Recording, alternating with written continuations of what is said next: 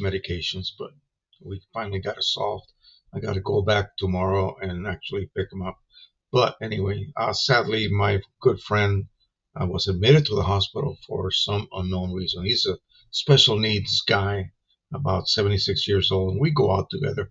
We go see air museums and things like that. He's crazy about aircraft and uh, especially the ones in World War II, World War One. He makes me drawings all the time, and again, I buy him lunch every once in a while, and uh, come to find out he was actually hospitalized yesterday. So I'm hoping to hear something more. Maybe tomorrow we'll go visit him. Uh, visiting hours are still sort of restricted in most hospitals. But anyway, welcome everyone. Uh, we have 23 people already on board. Um, this week was rather interesting. Uh, I was looking at my YouTube comments and also the Facebook comments, uh, trying to find out things about what people are having issues with that I can then discuss on the live stream and then possibly do videos during the week. And uh, yeah, it never it never ends. It's always interesting. Always people are having issues with this or that, and most of the time it's a matter of just simply uh, checking something. And uh, uh, the problem is that uh, you need to know what to look for. Uh, that's something they just don't tell you unless you have, say, like very um, advanced level service manuals that give you a better indication what some errors that you may see displayed either on your computer or your printer screen if it has one.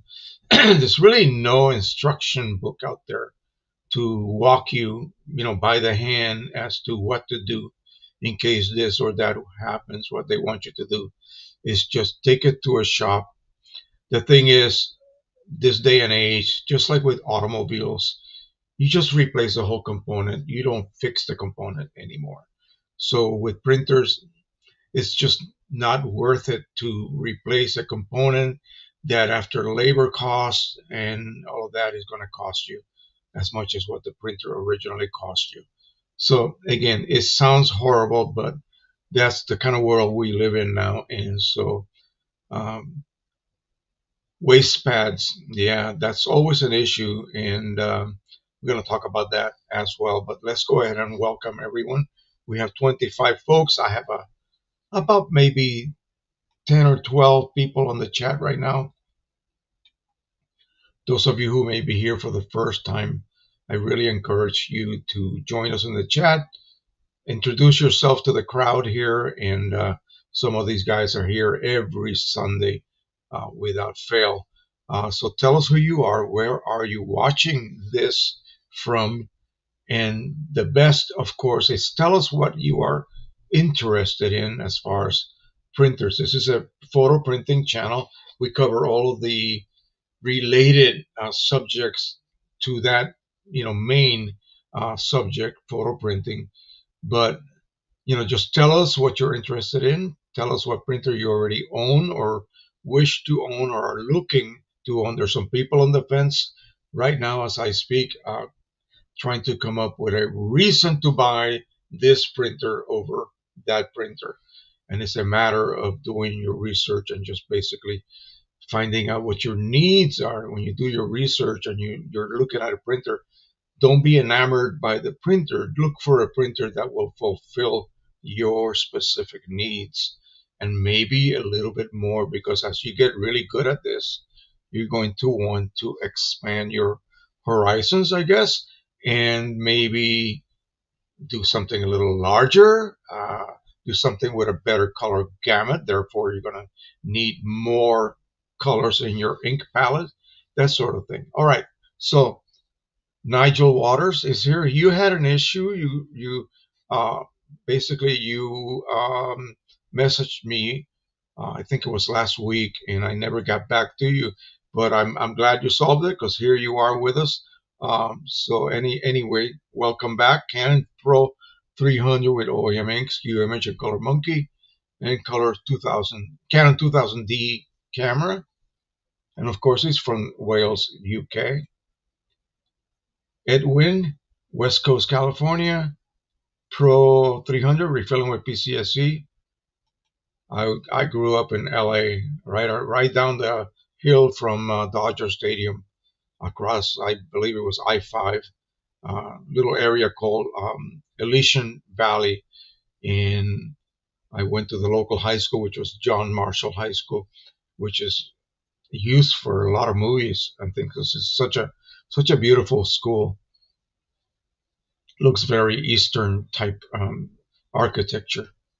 Martin van Gogh from the Netherlands. He's got a P900 OEM inks and Ilford papers.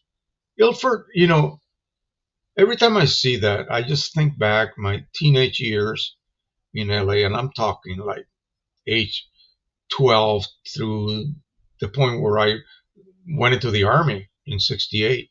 Um, I used to go to a local place called Freestyle, and that was located right on Hollywood Boulevard in Hollywood. And I would have to go up my road and then make a left, make a right, take Los Feliz Boulevard, go all the way to the, uh, I think it was the Sacred, Sacred, um, yeah, Sacred Cross Academy.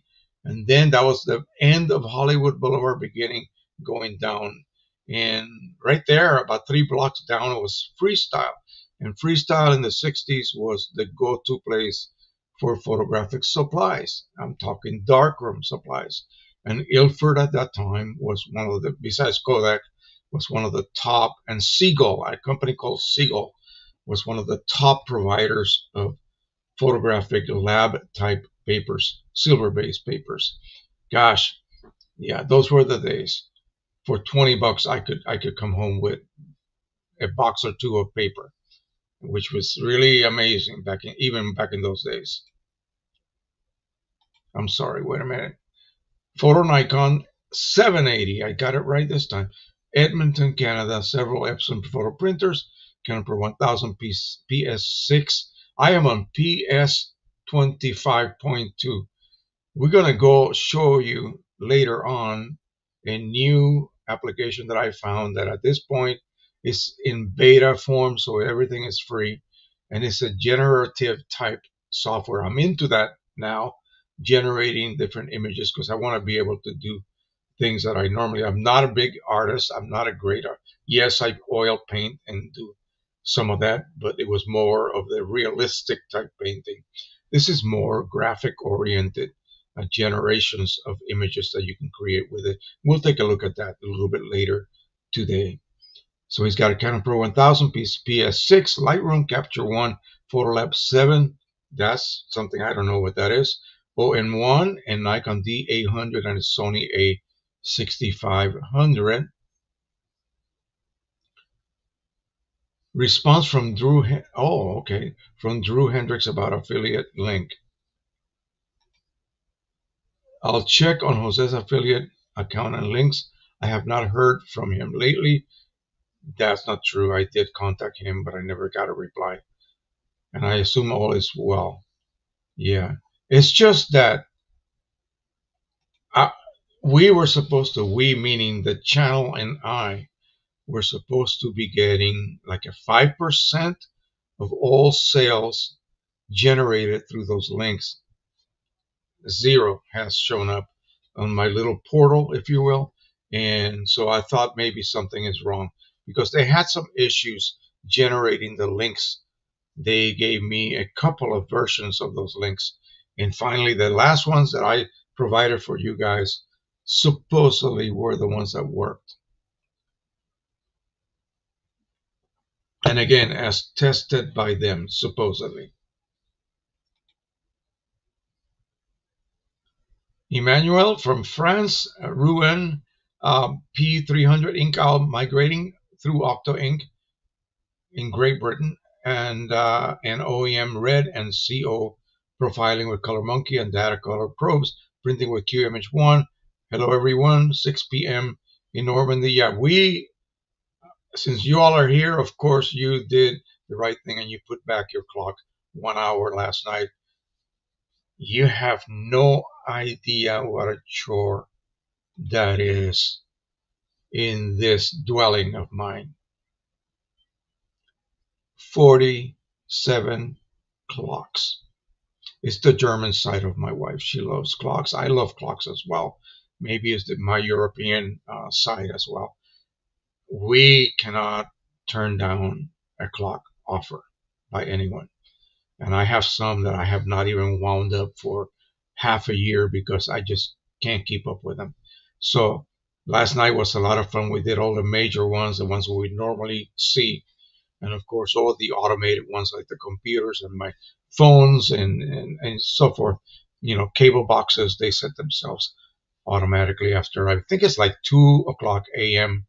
Like this morning, they go back one hour. But anyway, I'm glad that everyone is here on time. Harold Goldberg, he is from Richmond, Virginia. Pro 100 PCSE inks, Qimage Ultimate Lifetime, Rick Johnson's Clean Cards and Rudy's Holders, and Lightroom, and he's got a clogged P600. Yeah, so that's going to take a little bit of work. Um, it's not one of the easiest Epson printers to unclog when it happens. Uh, I hope your your black ink switch valve is still working. That's always an issue with those printers. My R3000, which is the predecessor of the newer P600, only prints on matte, and I haven't really used it for such a long time. I'm going to have to do a massive cleaning and maybe a uh, a refurbishing of it to get it back online again. Um, yeah, wish me luck on that one. Charlie Miller. Hello, guys, watching from Toronto, printing on the XP15000 using PSE.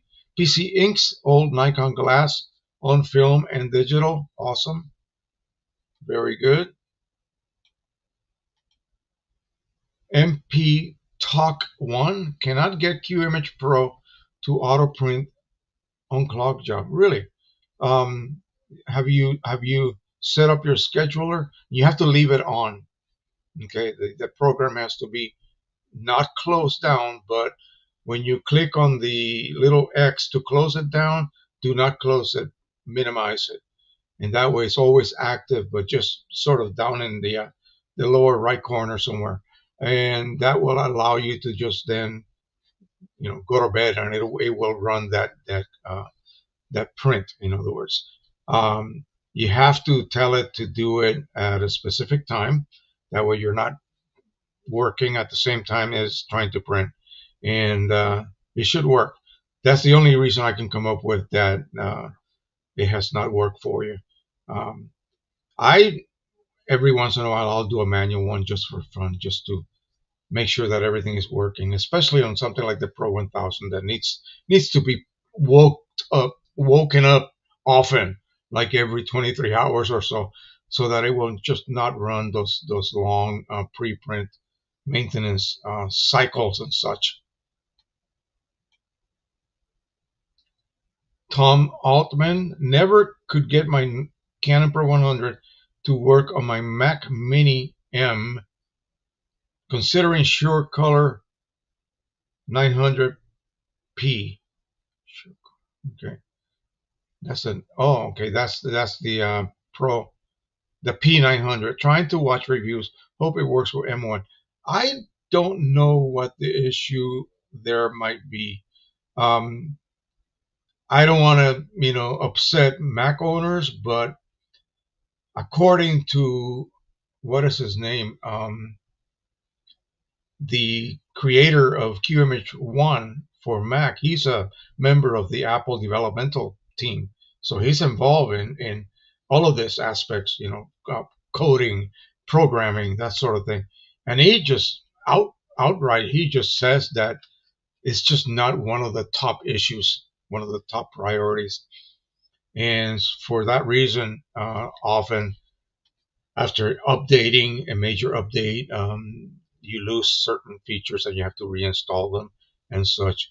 So again, this is coming from him. I'm not, you know, it's not me being political here. No. Um, again, this should not happen. It should not happen. It should show up. Just make sure that you are installing the actual Canon driver and not just simply plugging it in your Mac and letting the so-called AirPrint driver be installed. That is just a, a generic one. And we're going to talk about that because I'm going to give you a little history about me and how I became a Windows user as opposed to Mac because at work we use exclusively Mac computers because all of our software, which was a um, scientific type software, analytical software, was all Mac. And then the government, they use Windows for all your regular, uh, you know, word processing and all of that stuff. We have internet, not on those early days yet. Okay, so yeah. Once I got started, and you know, my curiosity about digital printing increased, which is I really hated it initially. Um, I got involved with uh, more with window computers concerning printing as opposed to a Mac computer for printing. It was wonderful for everything else DNA analysis, everything, sequencing, you name it. Everything had to be done on a Mac. And of course, no other computer could do it at that time. Uh, later on, in fact, even Photoshop, the original Photoshop that was released was for Apple only. They just really didn't think much about printing. That's that's an issue for us anyway. David Mayer, Mayer or Meyer, Mayer. I am with you again from downtown Silver Spring. Yes, I currently have an Epson EcoTank 8550 and may upgrade over the next year. What would you consider upgrading to? Um, gosh, if you're not displaying or well, even displaying wouldn't be too bad. If you're not selling um, like fine art prints and guaranteeing them to your customers that they will last a hundred years under the proper conditions, really, there's no big, huge reason to have to upgrade to something like a Pro 1000 with 12 channels or a P900 with or higher with the new 10 channel print heads, 10 channel color ink set. Yeah, in other words, going from a dye ink basic printer like that or like the 15,000 to a high level, high, high, you know, uh, pigment based printer, which is basically meant for your more expensive, more advanced uh, photographic media that are they have coatings that are designed for pigment printing. In other words, uh, most of your resin coated, cheaper, uh, universal type papers they come in glossy and luster, semi-gloss, that type of thing, uh, are meant for your printer, such as the one behind me. So, you know, just think think hard about that. Whether you really need to go that that way, unless you're going to uh, jump to save selling your work and providing the customer with a guarantee for longevity. I guarantee you that most people will not be able to see the difference unless you show them two of them and they will be able to detect certain nuances between one printer and the other. Again, that's why they have different model printers so that you can make a choice. But I hope that, I, I wish, not hope, but I wish that you could go somewhere that sold printers and they would have calibrated sets of, of different models and you can then test to see, or at least go there to see samples of different printers, all of a standard image, for instance, printed correctly so that you you get the maximum quality that particular model brand can provide you and then you can make an intelligent decision your decision may be about what capacity do i need not necessarily which is the best color output do i need to do i have to have roll capacity? Do I have to have a roll unit on my printer, either built in or something that I can add down the road later on? Yeah, lots of things that you need to consider. Oh, wait a minute. So here's in, this is Henry Stoffel, Stoffel, a balmy, sunny Medford, Massachusetts, Epson P800, OEM Inks, Qimage Ultimate. Everybody hit the like button. Yes, please do so. It helps, believe me, it does help. And I have noticed that, like right now, uh, what is it, the 5th of November? I have actually increased my daily earnings, which just absolutely plummeted to almost nothing just a couple months ago. All of a sudden, like the beginning of September, like the end of August, I noticed, wait a minute, something weird is happening. And then September was just, you know, it's like, wow. I, I'm glad that I'm doing this because I love it. Okay. I'm glad that I'm not relying on this to make a living out of it like some people are. Um, it really, people need to consider other avenues for income when it comes to um, this type of public presentation on all of these different platforms. It, it's hard. And so, you know, uh, but then November came and I started seeing increases in the daily. So people are watching normally, they've been watching the same number of videos per day around the same, but advertisers are actually putting in more ads. So that helps. That helps. If you watch at least 20 seconds of an ad, then I will get credit for that particular ad, the full credit. If you watch less than that, especially the skippable ones where you can just skip it within five seconds, not so good. Okay. So if you want to help out, you don't have to lift a finger, just wait 20 seconds. If it's a one minute ad, you don't want to watch the whole thing, just wait 20 seconds and then skip it. And that will that will provide the channel the full credit for that ad, which is it's crazy the way the system works. Harold Davies from La Crosse, Wisconsin, Canon Pro 10, 2100 PCSC image, and still editing for one month long trip to French and Swiss Alps. Oh my goodness. Very interesting live stream with Mike. Thank you for all your info. Mike um, is going to be with us probably in a week or two, and he's going to have that individual that apparently he is an outright expert at fixing printers on his own. In other words, mechanical repairs. And so his thing is to buy used printers that are being sold on eBay and locally on Craigslist as barely used. Well, that means fully ignored and reviving, reviving them and making them absolutely usable. So it'll be really great to have that sort of education for especially me i needed to uh, show me what i need to do although i've been kind of lucky myself.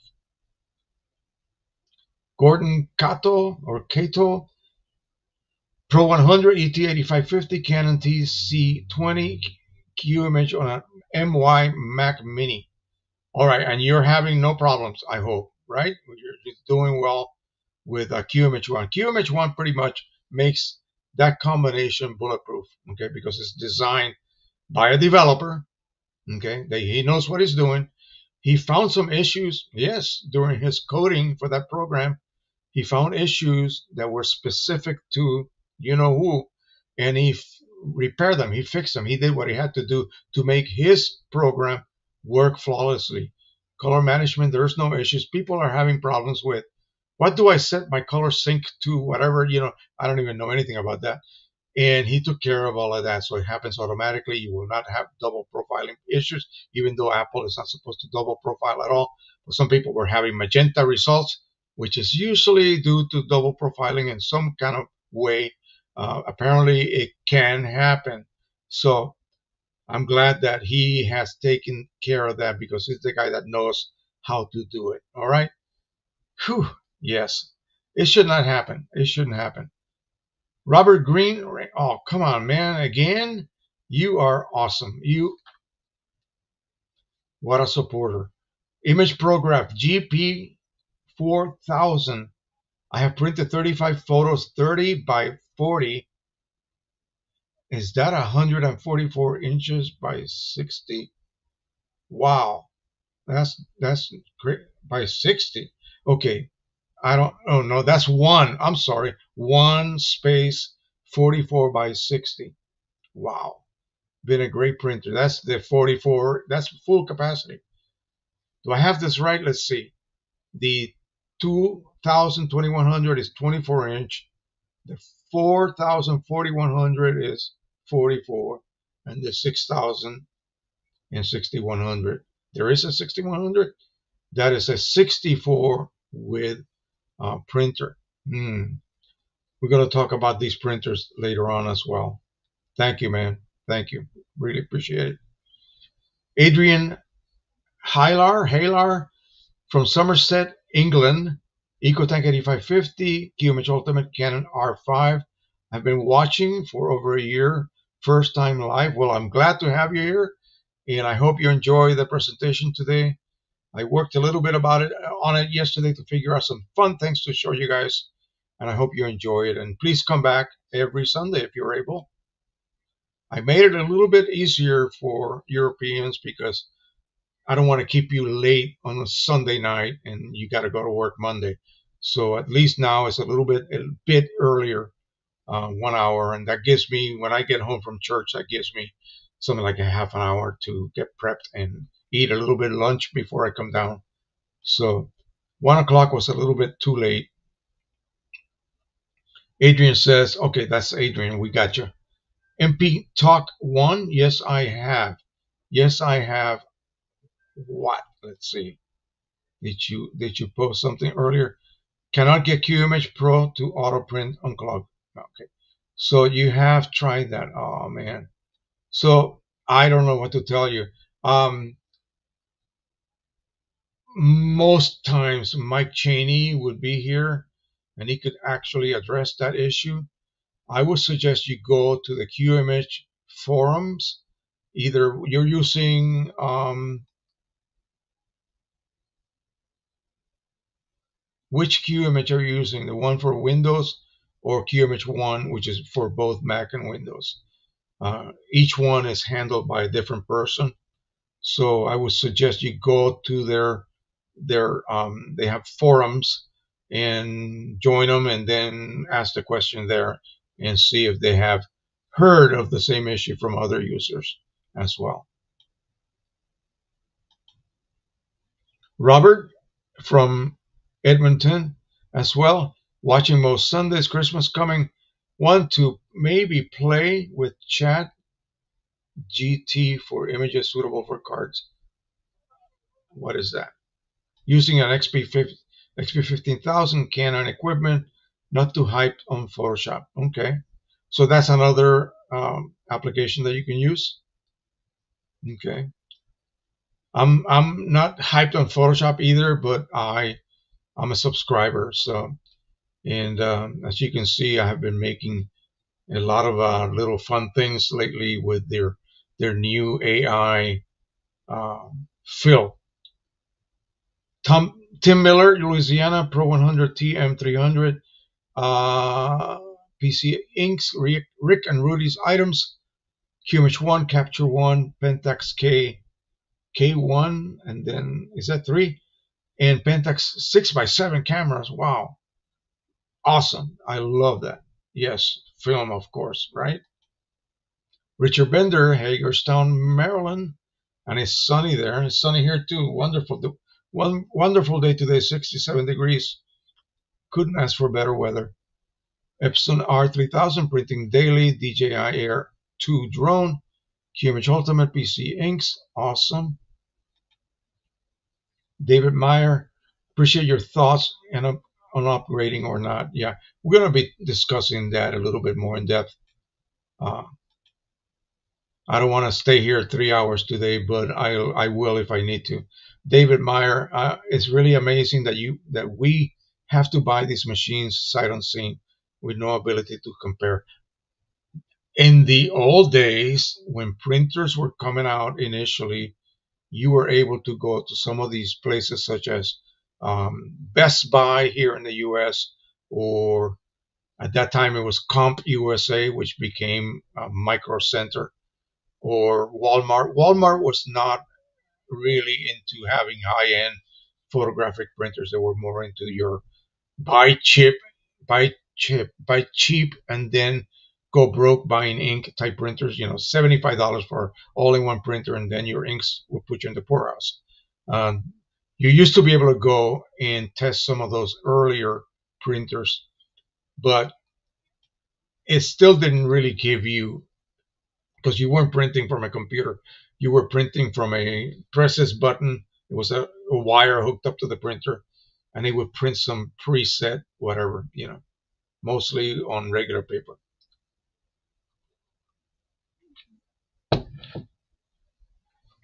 The only suggestion I would have is if there happens to be a very high end photographic club in your neighborhood and they actually have premises where you can go in and, and print and join a you know chat with your friends and have meetings and that sort of thing they may have printers you can compare but it's not going to be you know 17 printers like i have okay?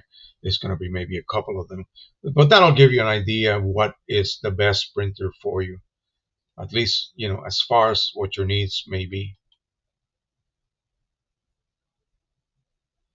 Mike Slater, do you get some money for getting QImage from your links? Uh, yes, we get an affiliate um, payment. I don't know what it is exactly, but you get a 10% off from the full price. Especially, what's today? Wait, next week, Black Friday. I think next week, all week, it'll be their discount, and then you piggyback it with my discount. Okay? So take advantage of that. That only happens like like twice a year, maybe around Christmas and during uh, Thanksgiving, Black Friday time. So that'll be next week. I just remember that. So use my links. It'll, you know, why not? Sure, you're you're helping the channel indirectly, but you're getting a 10% discount on top of their 10% discount. Stephen Polvoy from Toronto, Canada, Ecotank 70, 7750 8550 HP Z9 9000 something and making a few prints while we speak using my HP printing 12 by 18 on 16 by 20 cut paper. All right. Okay, so you're using Windows. Oh, okay. That's kind of odd. That is very odd. Um, go to the forum and ask them there's got to be something about that. Let me see. You asked. Yeah. I can I can show you what you need to do. I think you, you have the program minimized, okay? And you that you actually see it's a little bit tricky when you set your schedule. You got to go through several steps to actually activate it. Okay, I'll show you that. In fact, let's just do it now. This is this is too crucial. Let's just do it now. Let me open up QImage. And hopefully it will not crash me. QImage um, uses uh, your resources quite heavily.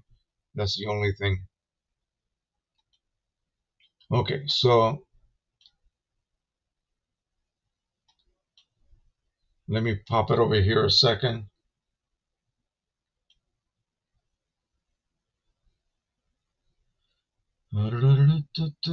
Boom.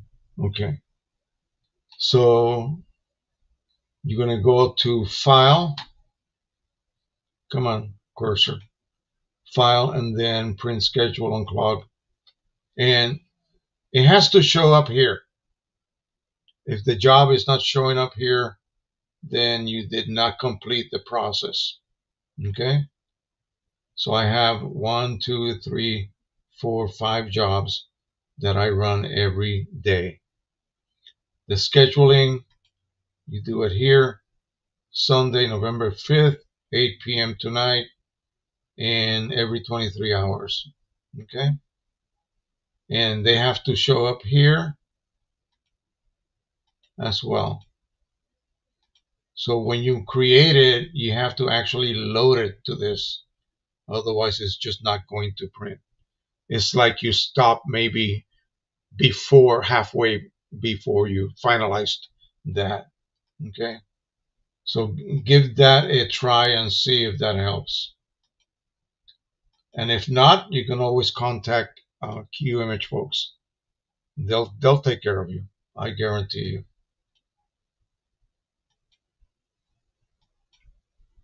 Okay.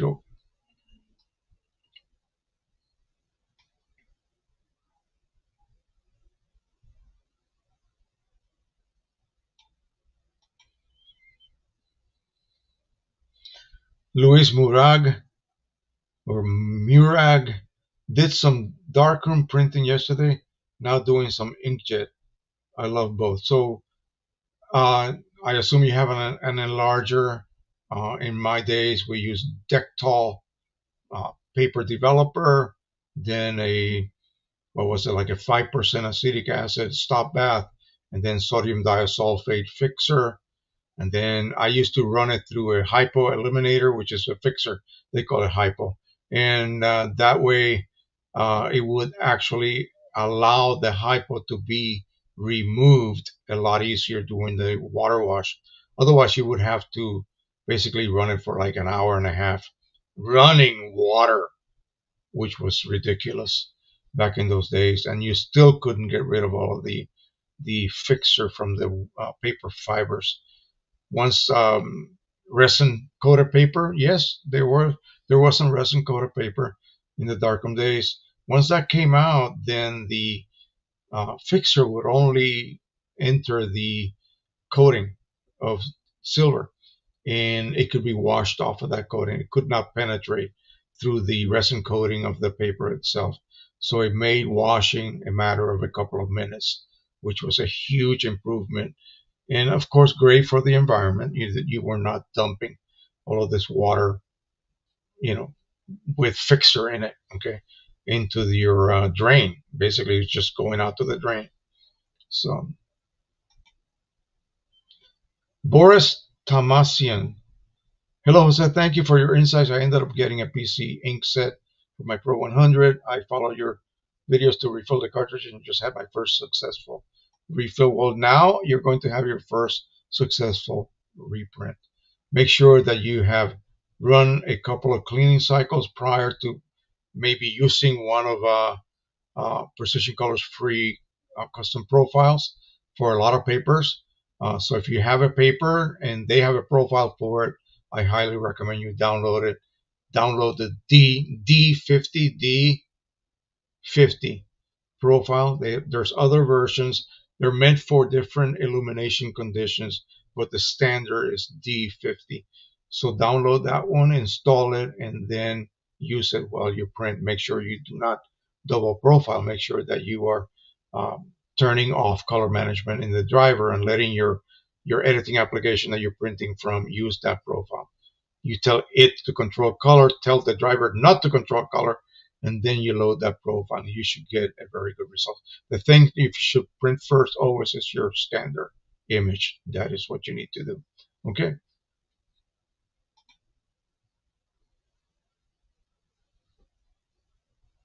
I don't know what to say. Thank you. Thank you. Appreciate that. Boris says, My colors are terrible all over the place. I use a Mac computer and downloaded the Qimage for Mac. I did help somewhat, but it's still far from being accurate. Okay, let's let's discuss this a little bit more. When you say they're all over the place, here's what you need to do to eliminate your monitor. So print the standard image. I don't know what you're printing from, but load it in your application file print. Do not adjust it any way at all. File print and or or export it to um, QImage. In other words, do this instead. Forget it. Forget it. Forget what I just said. I just remember I'm I'm working in Windows. So open it in QImage one, load that image, and print it load the paper that you're using, obviously. The First, the printer, the paper, and the size, letter size or Q or A4, whatever you're using. And then you tell it to suggest a profile. It will show you that profile for that paper. You load it and then you print. And the QImage Ultimate or the QImage One, depending what you're using, whether you're using Windows or Mac, uh, will set the driver correctly. So print that and then make your decision as to what your printer's output is. You should get this. You should get a perfect rendition of that standard image. It should look just like this. Perfectly neutral. linear throughout that whole tonal range ramp. It goes from black, almost black to white. It should be neutral. It should not change at all. Okay. So if you get this, basically using QImage, remember QImage will take care of your your settings, your color uh, management, color sync in a Mac um, for you automatically. And so your results should be pretty close to this. Okay. So then and only then can you say that when I print my regular photographs, the ones that I edit and they come out looking bad, it could be because I'm making them look bad because my monitor is not displaying them accurately. So it's causing me, it's forcing me to adjust those colors, the brightness, the contrast, probably unnecessarily to make them look great on my bad monitor. And I don't mean bad quality, I mean it's just simply not calibrated. So it's not displaying the colors correctly. And you're having to then adjust for that that erroneous display. Okay. And making them look okay. And then what what what happens? Then you send that to the printer. The image is bad already and the printer just prints it. Okay, representing the values that the image contains, which to you, you don't see that because it's not being displayed correctly anyway to begin with, and you have to compensate. It's crazy. All right. We'll be talking more about that, don't worry. So,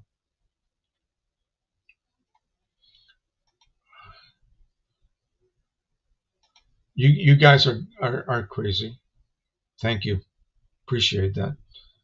I don't know why this is happening every Sunday for years. No one even thought about clicking on that super chat. It, it really, really helps. Live streams do not generate hardly anything, even though they're two hours, three hours long. They just don't. They survive on this type of support. So thank you so much. Thank you so much. I appreciate that.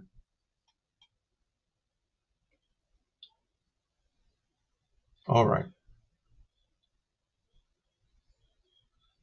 Whew, AG Schmitty. Hi, I use Photoshop and have an impression, have the impression, have the impression BPC doesn't do anything for me regardless of the colorimetric. If Epson print layout, in Epson print layout, it makes a huge difference on the same photo. Printer is fixed, by the way. Impression. What is that? I, I I'm sorry, Smitty, but please clarify what you're asking or telling me here. Um, yeah, you're using that's a that's a lay a a, uh, a plugin, um, but I don't know what PC. So that is that. I don't know what PC BPC is impression. So please clarify that and I'll be glad to uh, comment on it. You may have to educate me, okay? Oh, black point compensation, okay. So what does that do? If you look at if you look at your say if you're using Adobe Photoshop and you go to I don't have Adobe open, but not just adjust your brightness and contrast, but levels. And you see the curve that image has. Um, that bottom portion of that, we used to call it a gamma curve in the in the film days. that that lower portion represents your lower tones. So like tone one or zero through six or eight will be literally flat. That means they are just there's no difference between any of those eight steps. There should be a difference. So they are sort of become all of them become black, one value. That's without color, uh, without black point compensation. So supposedly once you click on black point compensation, that will then allow that curve instead of being flat to be more like this. So you will be able to see steps one, two, three, four, five, six. In some images, maybe it's an image issue. they will not show any any difference. Okay, so in Epson print layout, it makes a huge difference on the same photo. But when you use it in Photoshop, it does not. I cannot say. I cannot say why. I, I really don't print in Photoshop any longer.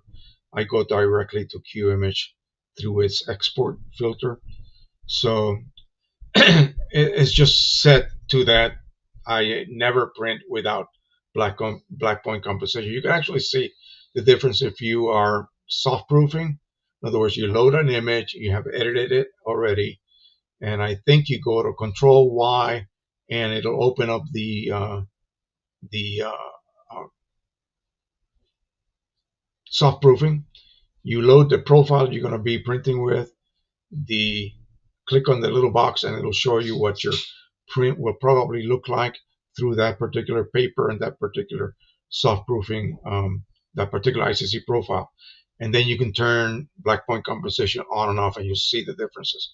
Usually, what you'll see is a little slightly more blocked lower tones. So if if Epson print layout makes a huge difference, a positive difference, then use it. You know, don't try to analyze it. I'm, I I used to do that. That's why I have no hair, right? I don't do that any longer. I just I just okay. Yes, this works better than that, and I just stick to it. Why would I lose sleep or or you know get a headache trying to analyze it? Just use it.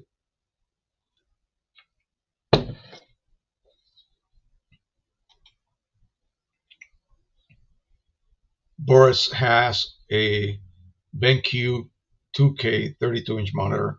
I'm jealous. With sRGB color space, I have calibrated it with a i1 calibrator. Oh, wow. Okay. So is that the what the monitor is rated for? It's not Adobe RGB, just sRGB. It's a little bit lower. Most most really top quality monitors now are more in the Adobe RGB color space. But that's good. That's good. That's better than what I have. I might lose my hairs then. Yeah. I started losing my hair quite early. Okay. Thank God I used to wear a green beret and uh, I never took that sucker off. anyway, uh, we thought we were better than anyone else. So even indoors, we kept our, our headgear on, and uh, of course that would tick off everybody else, but nobody really bothered us about that. So we kept doing it. Okay, so we have 48 people now on board, and that's wonderful. And let's see, uh, yeah, another donation. Thank you so very much.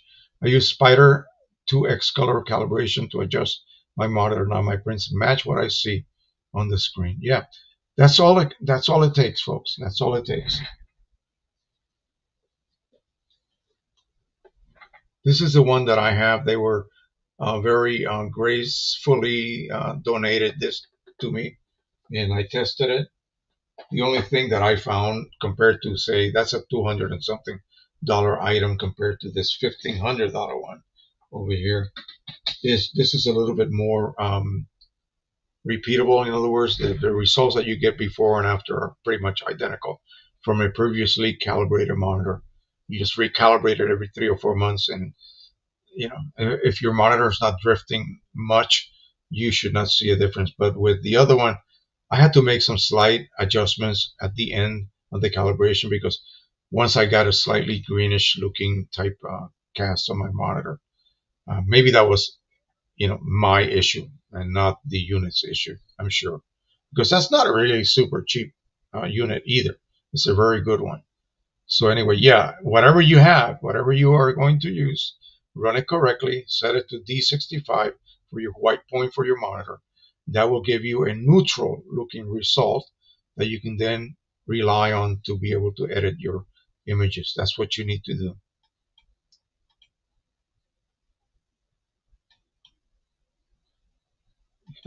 yes. The problem with my P900 was with the ink cartridges. I had I had them in too long, and the ink began became too thick. at the bottom. Yeah, you need to really uh, agitate. Did you have the? I have ones somewhere here. Those are OEM, right? So here is an OEM P900 cartridge. You should it should look familiar to you. Just do this like crazy, but keep a you know keep in mind that you have ink lines to deal with, and so those ink lines are beyond that cartridge. So sure, you can resuspend the pigment in the cartridges, but the ink lines continue onward, and they have already settled inside the ink lines, and of course inside the printhead dampers, which are little tiny like they're like mini cartridges, and so they just hold a certain amount of ink before it feeds the actual set of nozzles per channel and so that has to be kept moving. So agitate the cartridges, run some cleaning cycles. You will waste some ink, but you will get rid of that heavy ink that's downstream. Uh, other issues that you may experience are odd color, like strong reds or strong yellows or strong anything because of the higher density ink, the higher density pigment once that settles down. Yeah.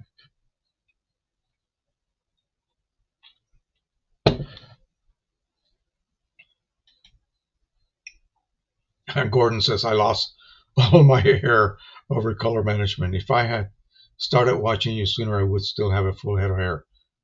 Uh, well, I don't know about that. It took me forever. And I thought I was sort of intelligent. I don't know. Maybe I was overestimating myself.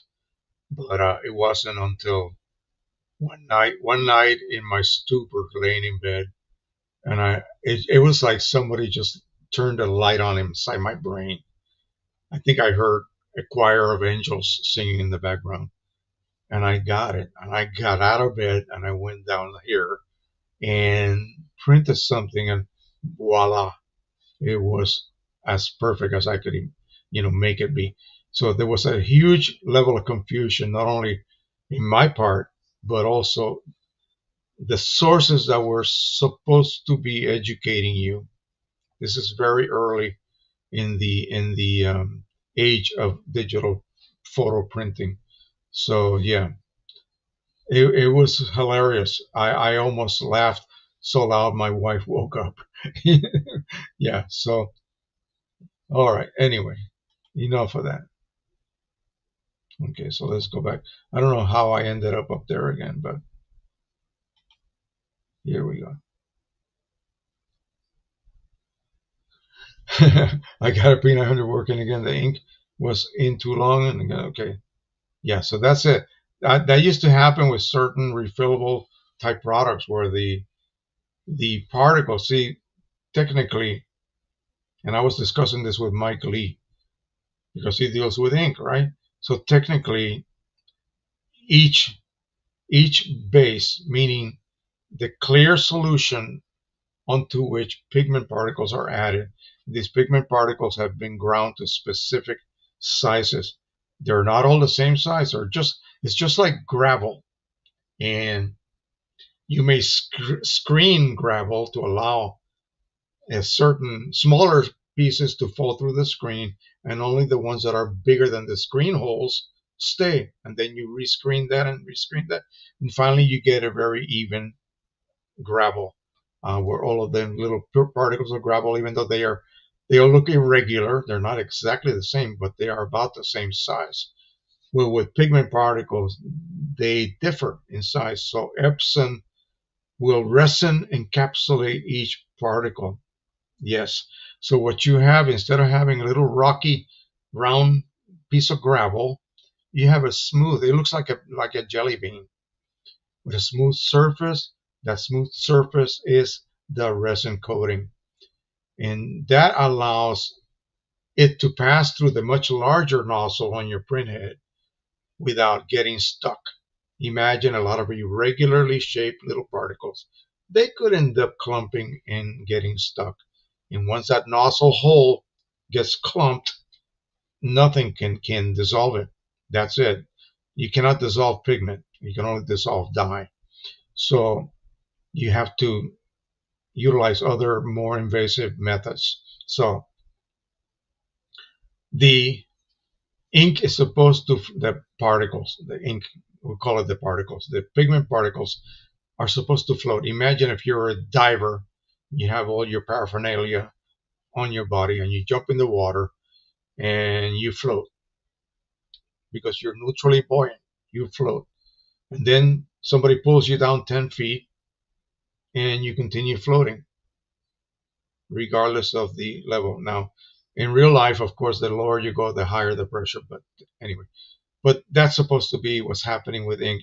The particles are supposed to be neutrally buoyant, and they're not supposed to settle, but they settle. Okay, they will settle. There's no there's no way around that. So the longer the printer stays unused. Oh, I have one. My Art 3000 is probably a mess right now. So I have to deal with that sometime in the future. Um, but that's what happens. You have to you have to re- resuspend that. And so if the printer, such as the R3000, as we're talking, or any other stationary cartridge printer, sits around and all that ink is settled, the particles, that is, pigment, yeah, you can resuspend the cartridges, but inside the you cannot shake the printer. You see, so you're going to have to push that out somehow. Hopefully, your channels are clear, but they're printing heavily. The colors are off, too strong, whatever the case may be.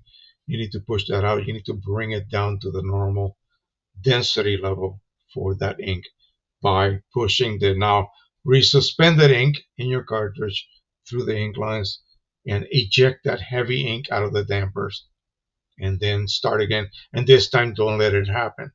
Yeah, I let it happen. Of course, I do. You know, we're all human, so no one is perfect. All right, so let's go ahead and talk about waste ink pads real quick. So I think I've discussed this in the past.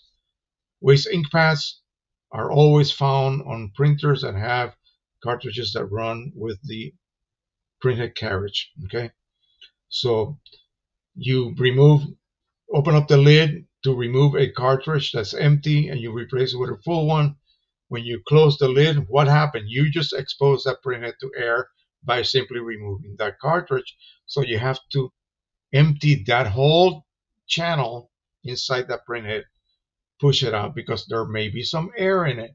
So it's using your ink. Not only is using the ink from the new cartridge, but all of the other cartridges itself. There's no way you can isolate just one color over another color.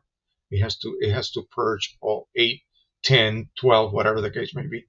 And now you can be assured that your printhead, now that it's ready to print again, has no air in it. Well, that ink that is sucked out of your printhead goes through the purge pad through a tubing into a pump and then down to the what? The waste ink pads. They're sitting at the bottom of your printer chassis. Okay. How simple is it to get to them? It's impossible. It, it, imagine if you had to dismantle your whole car, everything, just to get to something. And that something is just a diaper, a nappy.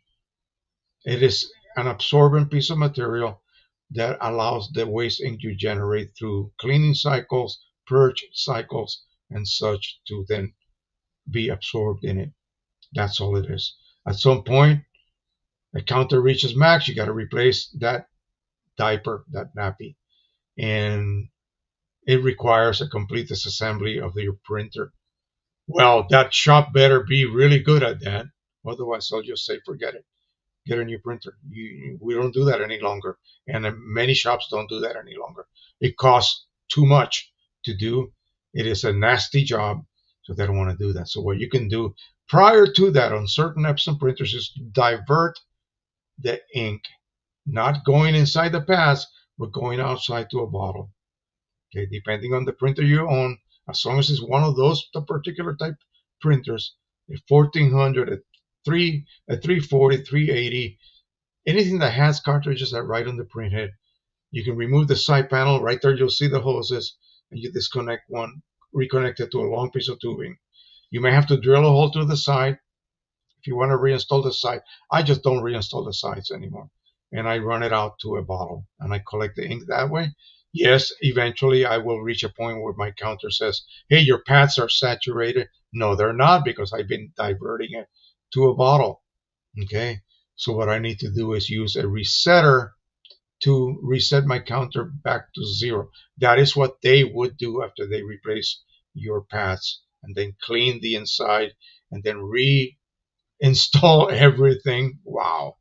And so you reset the counter and yeah, you're good to go. Costs about $9.99, $9.99 to buy the serial code for it.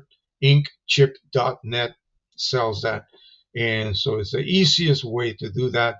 Extremely simple procedure. I have videos that show you how to do that. I have a I have a code that will give you a discount as well for that. So that way your printer doesn't have to be thrown away, which is ridiculous.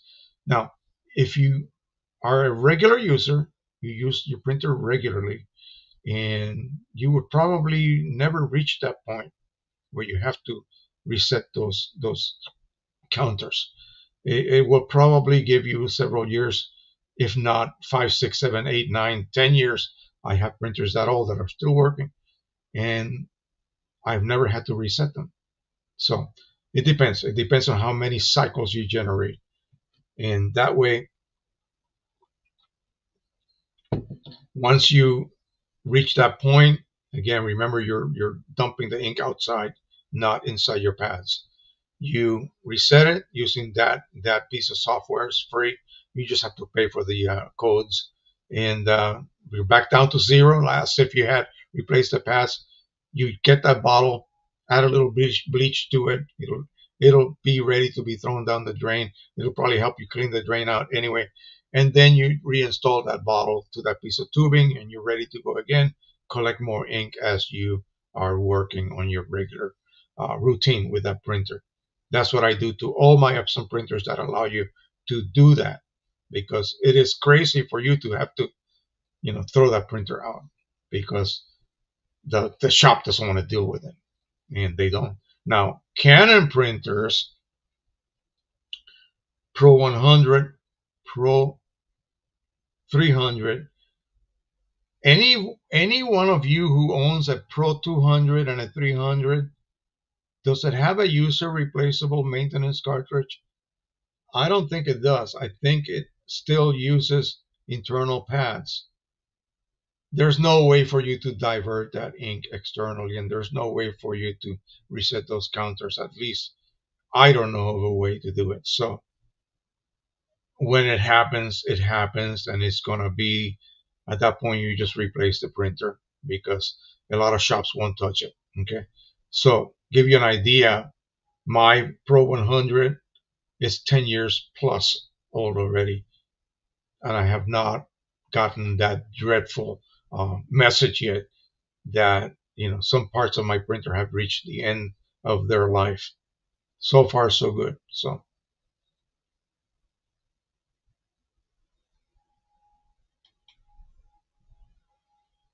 Luis Murag says, how long do you wait for prints to dry? after doing custom profiles. So I print my charts and I scan them the next day. If you print your charts with something like what I do here, this is what I do. If I'm going to just do the 10, 15, 20 minute dry time, fine. I got the program still open. I let them sit and dry. Maybe I put a fan on them to in, increase the drying rate and then I proceed to scan them. But what I do is I save I save the generated chart as a TIFF, and then I use Qimage to print those charts with, using no color management in the driver and no color whatsoever management in the Qimage application. It's the only one that allows you to do that, and you must do that. When you print from the spectrophotometer software, it's doing that as well. It's not providing any kind of any kind of interference color wise. You turn off color management in the driver, and the application is not affecting the color you generated either. So you get a perfectly raw result that you can then scan. So what I do is I just let them dry overnight. I, I use the TIFF file to print my charts with. Do I have some of those here? And then I just let it let it uh, dry overnight. No, I don't have it handy. Over there somewhere. But and that will make sure that any any drift in color that may occur during the drying process has already taken place. And now I can scan it and be satisfied that that is the final look of that set of charts. I scan each one of those little patches and I am good to go. The profile that will provide, yes, you print with it, no color management again, but you use the profile now. Okay. So the driver, no color management, but instead of telling Qimage off everything, you tell it to control color, load that profile, black point compensation, and that's it. You just print. Oh, um, rendering intent, relative colorimetric. That's a must. That's what I use. And so then you print, and you should be good to go. That should be it. The profile you should create took into account any possible change in color that took place during the drying process, and that's incorporated into the profile itself.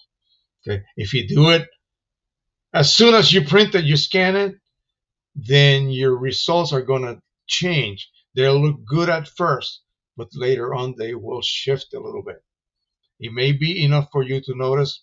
Maybe yes, maybe no. It depends.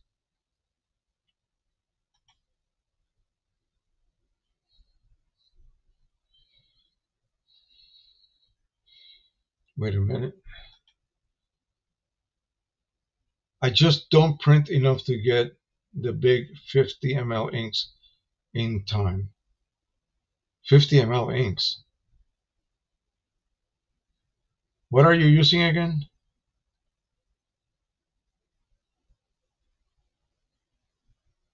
Anyway. Yeah, you have to, yeah, we're going to talk about uh, frequency of printing and how I, how now I'm printing a lot more often because I can generate all kinds of fun images. Wow. Kelsey Miller, $20 super chat. Thank you. Thank you. Thank you. Thanks for sharing so much knowledge and advice out there.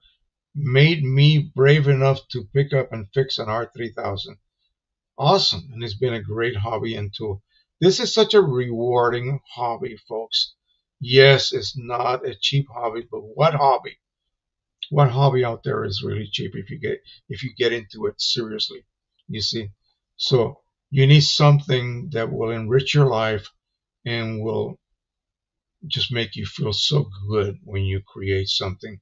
If you create it yourself or you shot the photograph yourself and then you print it, and it's a lot different than seeing it on your on your cell phone, having it print in your in your dirty little fingers. Yes, that's me. Ink everywhere. Yes.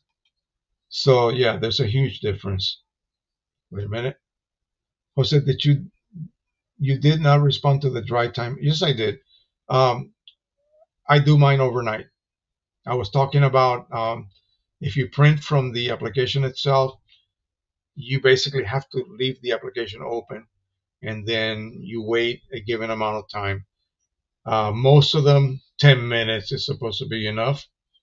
I just leave them overnight and then I come back and print them later and uh, scan them later. So as long as they are fully, fully dry and any kind of uh, degassing has taken place already, that means that the ink has completely evaporated and all the gases have left that paper. Okay. Okay, so Rick Johnson told me they both have internal pads. So there you go. That's going to happen to you guys, depending how much waste ink you generate. It's going to eventually reach a point. But just to give you just to give you an example, my, my Pro 100, um, this is the first time I had to replace a printhead in 10 years. It was 10 years old in August, mid-August of this year. So that means I got it 10 years ago. Wow, it's an old printer and it's still working fine, you know. And so far, no no problem with the waste pads. Miss Wendy, how are you, my dear? Belgium. Wow, Belgium, beautiful place. That's where my son was born. I keep saying that to everyone. he's very proud of having dual citizenship. Uh, Pro 1000 and all OEM. Awesome.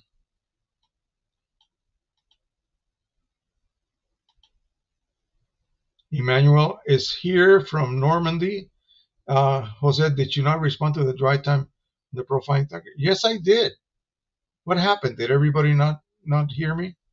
Yeah, overnight, at least overnight, or or um, you know, some programs they say 10 minutes, 15 minutes, whatever the program says. But I recommend overnight.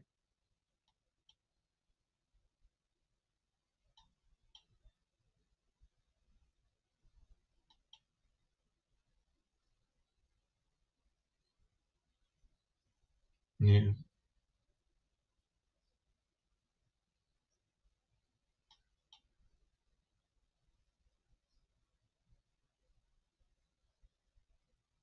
Oh, what? Then what did you want to know?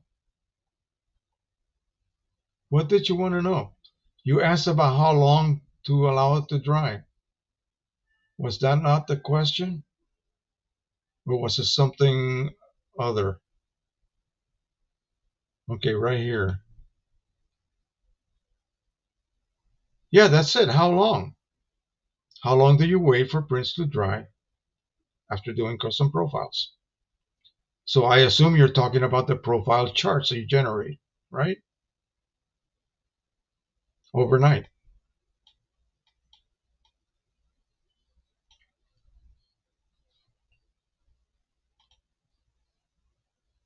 Henry Stoffel, AGS Schmitty, says, uh, what does Epson expect a P900 user to replace? $440 worth of ink every six months. I have a P800, and some inks are over two years in the printer with refills dated three and four years old with no settling. Yeah, it depends. With the with the uh, P800 and even earlier earlier printers of the same category, you can go on eBay and, and buy expired cartridges. It will not be an issue. I guarantee you. It'll, it'll work fine. It'll work fine. Just agitate the hell out of them. Then let it sit overnight before you install them in your printer.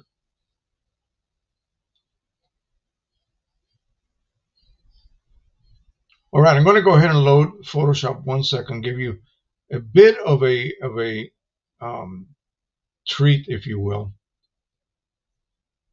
I just found I was watching a video on YouTube and found a new software that's right now on the I think it's on a beta type um,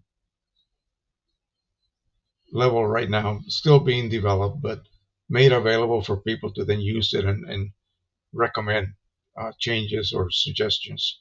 So let's go ahead and let that open up. I'm going to pop it on that side and we'll be able to see it.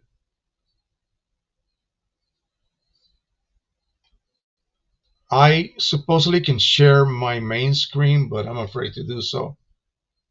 I don't want to mess up the stream.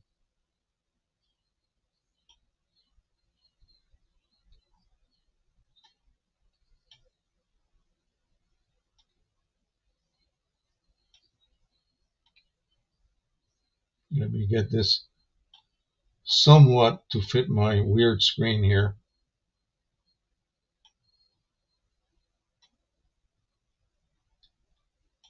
Okay.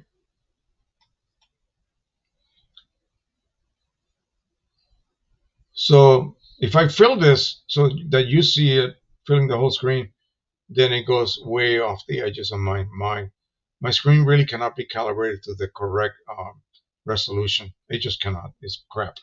But anyway, we'll deal with it. So we're going to open up just a blank file. And let me show you what I'm talking about. We, we need something along 2000 pixels. Let's see, we'll make it 2000 pixels wide and like 1500 wide. I mean high. That's it. And then uh, I think we'll do that like that, maybe. Boom. Okay, doke. So Yeah, you'll have to deal, um, live with this as it is right now, but because, ah, oh, shoot.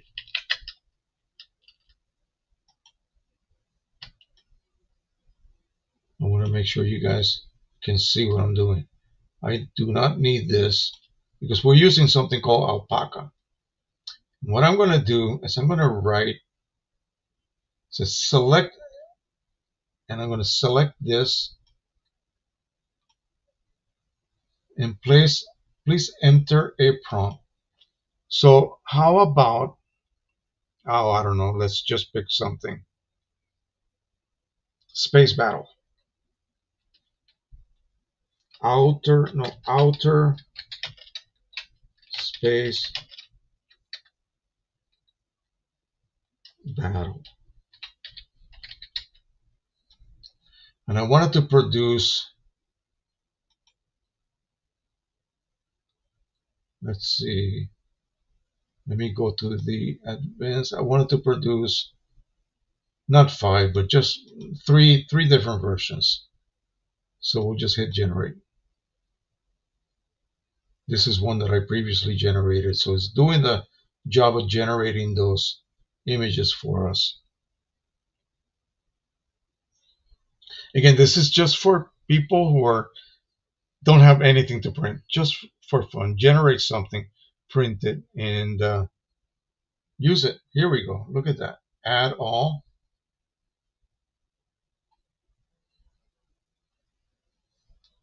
I am going to reduce that, and I'm going to go down let me see.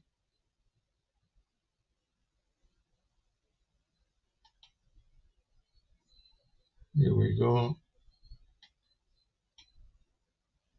This is my channel. I want layers. Yeah, that's right, layers. So I have three layers here. We'll deactivate the top two. This is this is a scene. I'm going to remove this. That way we can see what we're doing. You can see it's not super high resolution. Remember, it was only 1500 by 2000. It's basically limited to that. I think 2000 by 2000 is the limit. So second version. So you just want to make a poster, an interesting poster. Boom. That is a beautiful piece of artwork right there, if you ask me. Okay. And you can go into Qimage and then print that larger. And because Qimage's um, way of um, uh, upressing, in other words, is as good as anything uh, that you may run across, like any of those uh, plugins in in uh, um, type of uh, tools that will do increase in uh, resolution or, or image size without losing detail. Um, it's, it's just fabulous. Uh, I could actually use, let's just say I like this one. Let's see. We'll pick that one. And I'm going to go ahead and dump this first layer.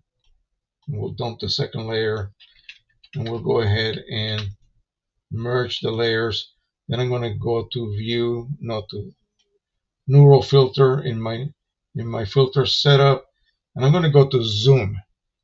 This is where I can actually increase the size of the uh, actual image. Let me see if I can find it. Yeah, here it is. Uh, super zoom is new.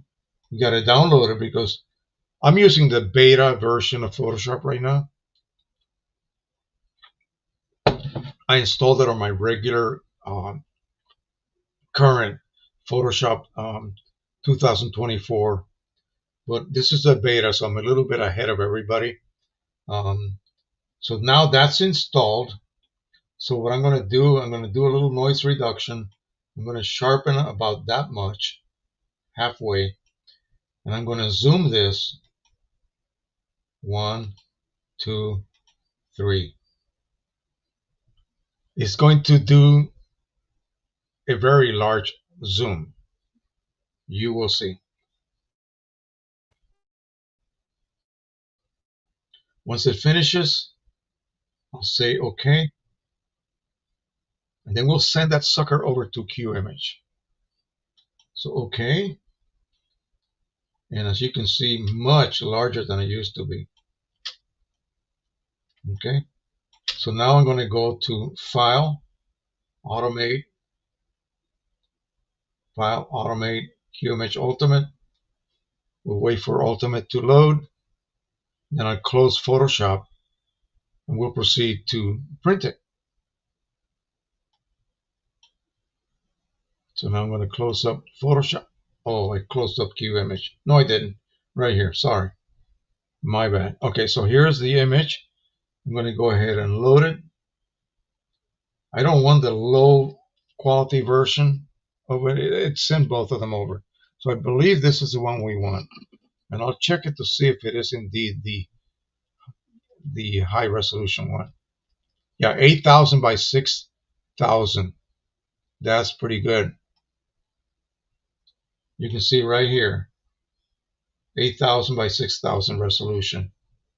So this is what we're going to print. I'm not going to do anything to it at this point. Well, yeah, maybe I will.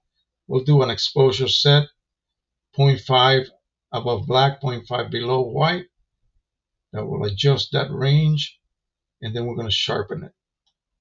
We'll do the out sharp output, what they call output sharpening. We'll use one radius and say 150. You'll see here the sharpening taking place. There you go. We just saw it. We'll add a little bit more, maybe 175. We should be able to see right here. Yeah, that's good without getting crazy grainy looking results. Let me see if we can get away with 200. Oh yeah, no problem. So hit OK. And now I'll walk you through the process to print this through QImage. I have some eight and a half by 13 custom size paper loaded. It's a uh, luster type paper, nine and a half by. So it's going to go ahead and load that there. I have a border all the way around it. We should have the proper Epson luster paper uh, profile loaded. Ultra premium photo paper luster choice 8550 8 nine and a half by 13 and we'll just go ahead and print it. We make sure I do have that paper there. Yes I do. So we'll wait for it to print through and we'll see what it looks like. It should be a very very good result and we just generated that I could take that to my P800 and I can do a 17 by whatever print if I had a bigger printer like like some of you guys have a 2100 Canon or, or larger, or the 40, uh, the 4000 one, then you can do a four, a four inch by whatever poster. You can do it on canvas. You can then take that canvas, stretch it over some stretcher bars, varnish it. Yes, you can create art, and this you can sell. There's no issues with you generating income by printing and selling these generated images pretty good.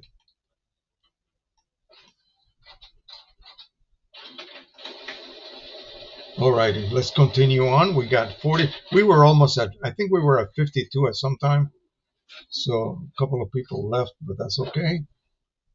So yeah, this is again another donation. Wow, thank you, Lewis. Um, thanks for answering. Very helpful response. Yes, thank you so much, my friend let's go ahead and while that is printing, the Photoshop generative fill. Remember I did where a narrow picture, then I extended the side, and when it was able to generate what should be there magically, as of November the 1st this year, that did not, that was no longer a free thing. Okay you have to use what they call credits. And they give you so many credits per month, depending on your type of um, um, account that you have. So I got the account that gives me a thousand credits per month. So that's good. I'm able to do that daily.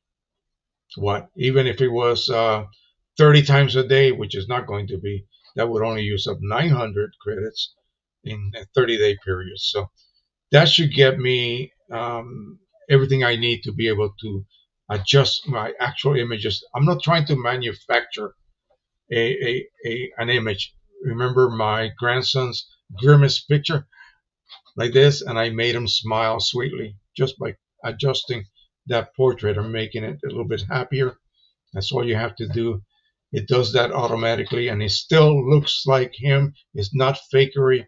I just adjust it. I could use the, I think it's liquify filter in Photoshop and do the same thing.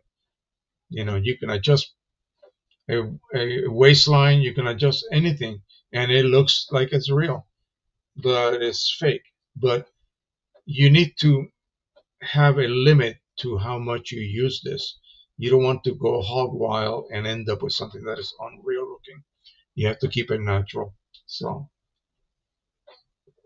every time I do that, costs one credit. Okay. So if I want to generate three images, such as this, say I want to make more cards. So we did this one, little Easter bunny that was generated. See, these are cards. Christmas village. Imagine you're in Switzerland. Yeah, beautiful. You could do um, Caribbean beach and it will generate a graphic like that. You have to tell it not to be, uh, like if you use the previous program that I showed you, it tends to generate um, graphic type generations, not photographic quality um, level of generations. So, but still, it'll give you material with which you can then keep your printers happy by printing the way you're supposed to daily. Something small, it doesn't matter what it is. Uh, as long as you print something and make sure that what you're printing, in order to keep your printer happy, you're just not simply printing a nozzle check or printing one of those unclogged tool weird lines is use that's useless. You cannot use that for anything. Print something you're going to be able to use, and at the same time you'll be performing what you need to do, which is printing. You see what I mean? So you're printing something usable that either it'll be for your wall, or if you're selling, then you can actually, yeah, I had to print, so I might as well print something I can then sell. That's that's the whole goal.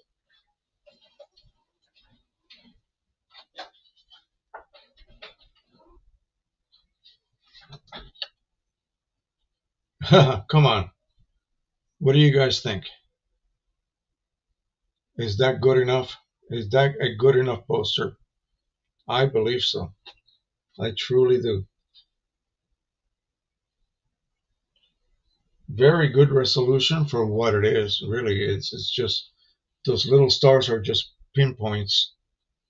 Uh, right there, there's a bunch of little tiny microscopic little stars in that background. This is fantastic. Fantastic. It's called alpaca. At, at, at some point, it's going to become the real deal. So I don't know whether they're going to be charging or not for it. So, okay. Somebody wanted to make refrigerator magnets. See, that photograph of my grandson was a scan from a refrigerator magnet. And when you put something on a refrigerator, refrigerator is a electrical unit, it's always on, right? And it tends to generate a greater amount of ozone. And for some reason, kitchens are always bright, brighter than your regular rooms, like your living room and such, where you're watching TV. You want a slightly darker environment kitchens and uh, on the refrigerator wall, it's a disaster waiting to happen for your photographs. So they will fade faster. Don't ask me how or why. I just think there's a lot more ozone present there. So That print, I think it was a sublimation type print because it was on a magnetic piece of uh, material. And the way I used to make them is the material you buy is already pre-coated. It's got a white surface and a uh, um, polyester clear coat, and you sublimate to that. That's it. Um, it didn't really fade that much. Other things like real photographs that I have put with a magnet on it, they just fade. So this wasn't too bad. So I went ahead and scanned it. Now he's making prints on like luster paper and then somehow gluing it to magnet material. I don't know what he's doing, but it's fading quickly. And it is due to that that basically fatal combination kitchen and a refrigerator. I don't know what it is. It, it just, nothing lasts. Okay. So he's using a dye ink printer. So if you want to continue doing this and you want to use that type of process where you're going to print on photographic paper and then somehow attach that to the magnetic uh, media, uh, it's like, a, you know what I'm talking about. It's flexible you better print with a pigment based printer or you better treat that print with a dye ink printer to at least slow down the fading process due to oxidation. So you could use a, a protectant spray and you should be able to have something that'll last years. How long do you need a refrigerator magnet to last? Seriously, right? So choose your poison, as they say you want something to last for decades, then you need to go with pigment. And then still on top of that, apply a coat of um, preserving type varnish. And that way it will not only stop allowing air to enter where the ink molecules are and affect them, but it will also block UV light from affecting the dye or in this case pigment. Pigment just simply will not fade that quickly when it comes to UV um, exposure. It just doesn't. This is a good one, but I need to look this up. I need to look this up on my Facebook group because I was like, come on.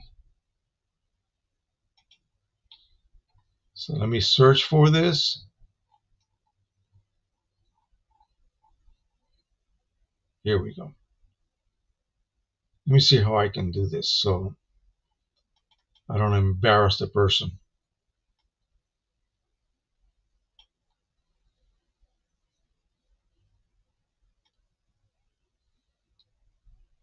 Okay, so here I am.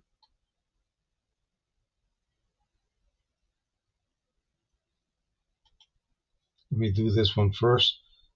I'm looking for an A2 photo printer. So A2 would be larger than a letter size. I want to print myself but I don't print that often, maybe once a month. That just use an online service. That is just not often enough for most printers.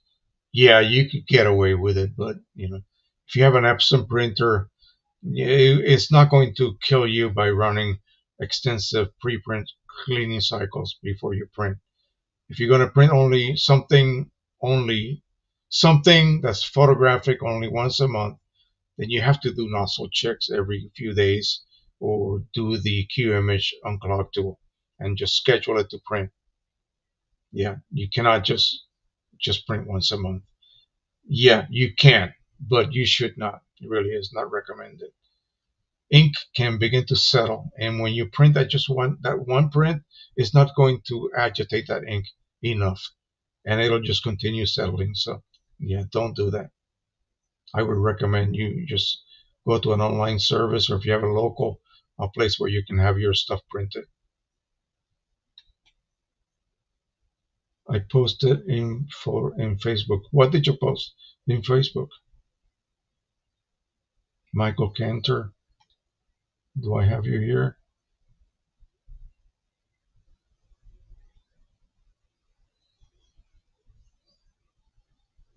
No. Okay. Yeah, tell me what is it that you posted.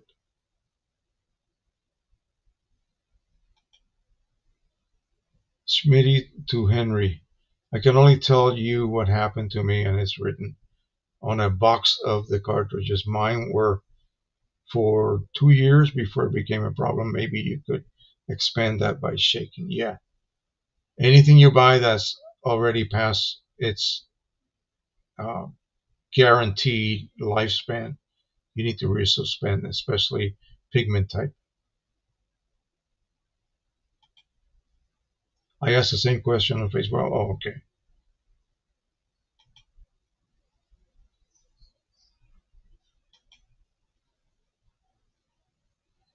Question about version control.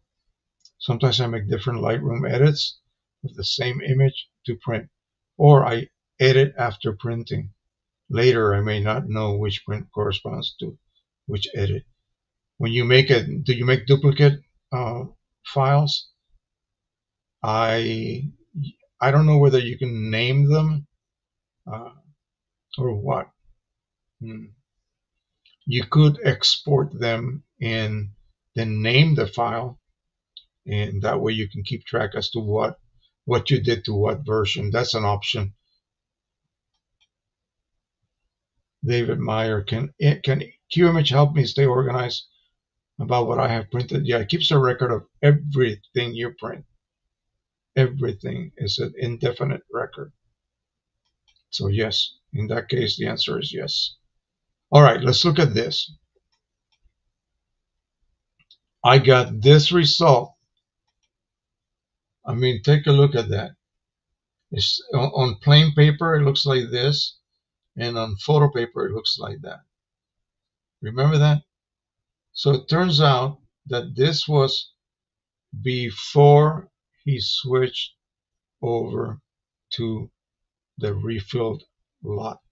So I think this was a two uh, a 100 a pro pro 100 so we'll leave it at that i don't want to i don't want to expose this publicly too much but anyway so what caused that?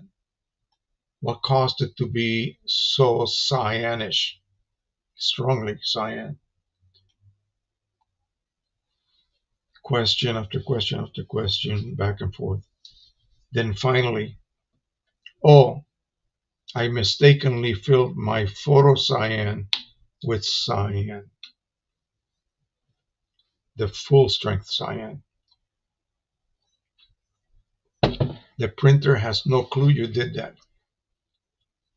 So it's going to use that stronger ink. And I think he also flipped, he actually filled the cyan cartridge with photocyan. So yeah, double, double problem. So the only way to do that, uh, fix that, if you have two sets of cartridges, is go ahead and fill the other set correctly. Reinstall those two cyan cartridges. Take the bad ones out. Flush them. And start again. Flush them, let them dry. And then refill those carefully again. The way to avoid this is just to have a very organized method of refilling. Get yourself Rudy's holders. I'm not I'm not just trying to push his products. They are usable. The holder will hold all eight of your cartridges. They are labeled by color. Put them there. You get two holders, and one of them is white and one of them is red. Decide which color you want to have your prior to refill and reset cartridges. So you remove a set you install a full reset and filled cartridge to your printer. Now you have that set you remove. You're going to have one that was almost low and you're going to have the rest at different different levels. You're going to one by one reset them and put them back in there. Determine when you want to refill these when you have time, right? Because it's it's a, it's a it's a process. So you set up your work area, you have your holder here, then you have your empty holder here. You grab your yellow. You grab your yellow ink. Look at it. Yes, it's yellow. And yes, I have a yellow. Where it gets tricky is with your magentas and your cyans because you have two of them. You have your full strength magenta, full strength cyan, and then photo magenta, photo cyan. That's the one you have to be careful with, and also your gray. Do not put black in your gray channel and gray in your black, I mean cartridge, and gray in your black cartridge. You're going to experience the same problem. So yeah, just stay very organized. Use the holders. When you finish refilling one, you put it on the refilled rack. In other words, that's ready. It's reset. It's topped off, ready to be installed as needed. And so you do the second one, the third, all the way you finish with the eight. Or if you have a Pro 10, you finish with all 10 of them. And now you are assured. Now, do not leave all your bottles all to all in a big clump. No, one bottle at a time. Do not confuse yourself. How do I know that? Oh, yeah, you can guess. I've done it numerous times. Gosh, where I slapped myself.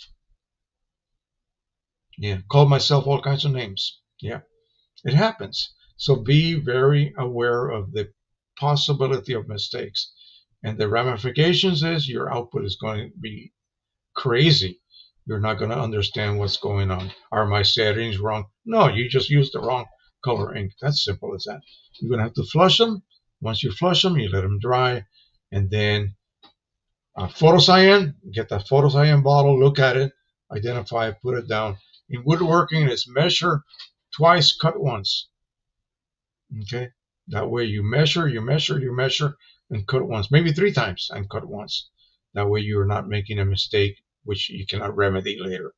Okay, so now there are ways to get away with this a little bit. So in it only works in one situation where say for instance your your cyan cartridge received photo cyan instead. Well that's a lighter version. So what I would suggest is for you to just drain it completely. You can drain those cartridges. You already are modified for refilling. Stick is I don't have one here. Stick a syringe with a, with a simple a plain tip on the the plug hole and push the ink out. Just pump it with air and the ink will leave. And then load it with the regular correct strength cyan ink and push that cyan ink out again by the second fill, it'll be fine. Yeah, you just lost some ink, but it's better than sticking it in your printer and then printing some terrible looking photographs. So the other way around, however, where you put cyan in the photo cyan cartridge, no, you have to flush that one. It's just too much. You have to start from fresh. You need flushed cartridges. You know who's here, Rick Johnson. I have his links to his his eBay store. He will provide you with everything already prepped, and not just not just um, modified cartridges, also uh, user replaceable waste ink cartridges for various printers. I think it's a G620 or something like that from Canon, the 8550, the 15000. All of those printers they have user replaceable cartridges. And so if you have also, I believe that the 8500 uses the same cartridge as the 8550 as well. So again, uh, you don't have to buy OEM. You can buy replacement that is third party as good as OEM. And you can also do your own swapping of those dirty pads if you're brave enough. He sells those replacement pads as well. So have a look at his website he's got a lot to offer. Not a website, but the eBay site. He's got a lot to offer. And again, don't be attempting to do this yourself. Believe me, I've done it. It is a pain in the you know what to flush a complete set of cartridges. To me, sixty dollars or whatever it costs is worth the money. Okay, the headache. What headache? I get them ready to refill. Okay. He has sold a thousand units already, not units, not individuals, but sets, and a thousand percent satisfaction. Tell me what product out there gets a 100% satisfaction rating. Not very many. All right, that's enough for that. All right, let's go ahead and continue on.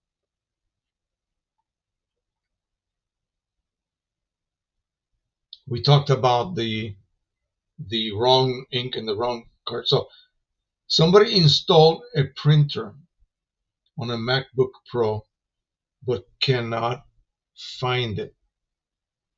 Of course, you guys know exactly what the problem might be. He probably, maybe, I'm just, I'm just speculating here. He probably just plugged it in and let the OS load the driver. Technically, it is supposed to find the actual Canon driver or Epson driver, but often people make a mistake and they use the AirPrint. Now, I'm thinking back when I started, and this is when I when I opened up today. I told you I was going to talk about this. I started uh, using computers in the days of like DOS, okay, for Windows, believe it or not. And then I think Windows 3 point something came out, and the government changed all of our computers to Windows 3.1, I think it was. But for our laboratory analytical type studies, we had to use Macintosh computers, Apple computers, because the software was only for Apple computers. So we were living in both worlds. So I'm doing my analysis on an Apple computer and I'm just doing my word processing on the Windows. And then printers came out and I thought, hey, wait a minute. I'm a photographer, right? Supposedly. Been doing this in the army for 20 plus years. So let me get into this. But I know I'm going to I'm going to hate it. And so, you know, I got into it and realized that oh the quality is not really what even close to what we're getting in a regular darkroom print. So what to do? Well, I just stick with it. So I come to find out that there was such a thing as a actual driver for actual individual models. And when I finally began to do that, I started realizing that wait a minute, on my Mac computer using the plugin method and letting it install the printer, I'm only going to get generic type settings and they are all the same regardless of what printer was plugged into the computer because no one realized that they had to go to canon uh, .com USA whatever and Epson USA and download an actual specific printer. Yeah, you do have to do that. And it's imperative to do that. Otherwise, you're just not going to get every setting that you see me use. And you, all of a sudden you go like, wait a minute, Jose, I'm not seeing any of that on my driver, what's up? You're using the air driver. So the mistake is easy to make in people that are very savvy with the Apple product. Sometimes make that mistake because they're just used to doing that. Um, like I said, the developmental folks that I know, they know for a fact that it's just that is really not a high priority item on the list. Okay, Whereas, um, and maybe it's the company's fault, Canon and Epson, they tend to favor Windows, whatever. But I can go to Epson.com, go to the resources tab, and I can find a working driver for my ancient over 20, over 15, maybe 17 years old R340 printer, and even older ones. I can still find the drivers for that. And when I install it on my up-to-date Windows 10, it installs. Uh, that's not the case with some of the new uh, OSs for Apple. It's like sometimes they drop the support for certain older printers, unfortunately, and it, it, it gets to be a little bit more difficult to to not only update and keep up to, with the current updates, but then the support for older printers may be dropped. And that I'm just thinking out of my, you know, uh, that's what I have heard from people. So it's not just me making that up. This is from people telling me. So what I do, my computer is absolutely dedicated to nothing but YouTube. Okay, I do the YouTube uploads there. I do all my photographic editing. I use uh, it for um, search online, and of course, video editing, image editing, and number one, priority printing. So I'm not playing games. I don't have anything else loaded that has to do with non-photographic type or related type products. So I have a dedicated computer just for that. So that's why to me, it doesn't matter what OS I use because my computer is dedicated to that. Had I been using a Mac, it would be dedicated to that. I would not be using my Mac for fun stuff. I would not be using my Windows computer for fun stuff. It's dedicated just for the photography side of things. And now my other computers upstairs, yeah, that's the one we search the web with and play games with. And of course, my phones. That's what I use to play games with. So that's a recommendation. You know, dedicate your computer, build it if you are able to do so, so that it can handle uh, the yeah the high um, resources usage of uh, your computers by the newer superpower applications. Just like I show you generating images and things like that, that takes a lot of power. It takes a lot of resources. You better have a lot of RAM. You better have a high power processor and a really, really good graphic card. Okay. And of course, an SSD drive with a high ability for data transfer. Okay. Super high data transfer. I'm not an expert in that. There's people that will, will laugh at me when I talk, you know, in, along those lines, you know, but that's what you really need if you're going to get into this because it seems that every new application is more of a resource hog. Okay. Yeah. That's just the way it is. The more you update, the higher the demand by the applications becomes. It seems that way. You just really cannot keep up easily. All right. What happened? Wait, wait, wait, wait, wait. I don't want to do that. I have some uh, maintenance applications that keep popping up. David Meyer, thank you so much, my friend. Wow. Appreciate it. My wife is going to go crazy when I tell her what you guys have done for me today. Thank you so much.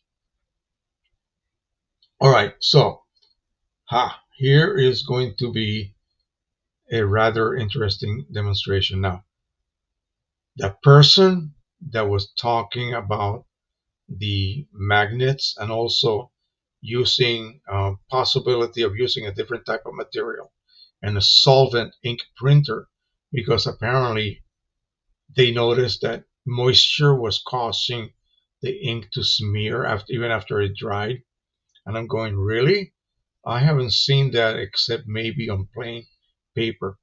I could take, say, something I print on plain paper, hold it under the faucet. It takes, it has to get soaked before it begins to wick away. But let's do that with a photograph. So what did I show you earlier? So this one here,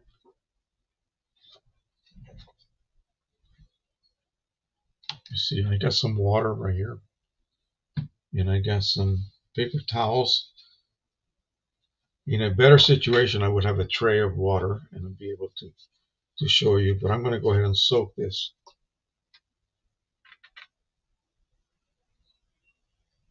I think I, I, I soaked my cartridges a little bit. I'm going to soak this pretty well. So let me see if I can dribble some water here. There you go. You can see the water dribbling. Okay, so let's go ahead and rub the surface. Oh, I got some water on my print. Let's go ahead and rub this down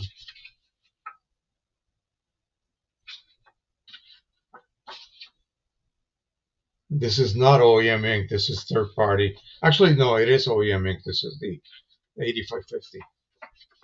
And I believe they were talking also about OEM ink. So you see, this is luster paper. Absolutely nothing coming off. In fact, it's so good that I once had something, I think it was something like sugary and sticky, like I was eating a candy bar or something. Didn't notice my, my fingers were full of that stuff, and I accidentally rubbed it over the surface of the print. I literally actually ran it under the faucet, and that's it. And then I let it dry. Okay.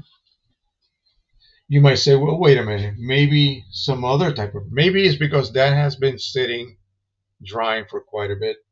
Let's see if any of that ink is going to come off of this paper. I just printed this.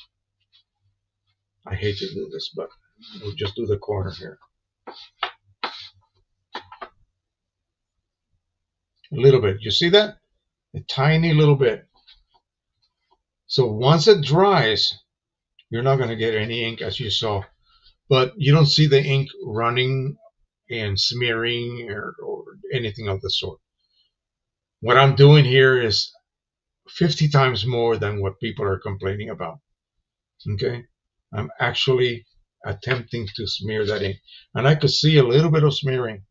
But I just printed this, of course. Of course. What about matte paper? So let's go ahead and do this print right here. We'll sacrifice this one here.